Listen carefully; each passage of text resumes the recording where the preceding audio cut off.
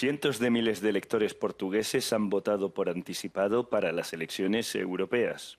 El día de la votación es oficialmente el próximo domingo 9 de junio, pero Portugal permite a los ciudadanos ejercer su derecho al voto una semana antes.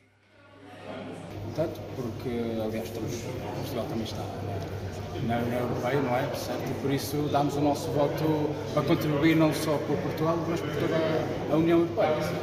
Muito bem. Estamos na Europa, mas estamos, portanto, temos que estar bem representados. Um, e acho que devemos votar porque não é só cá que é importante estarmos representados, mas na Europa também. En 2019, Portugal registró su peor tasa de abstención en las elecciones europeas. Casi el 70% de los electores no acudieron a votar, la peor cifra desde que se unieron a la Unión Europea en 1986. Ahora Portugal intenta revertir la tendencia.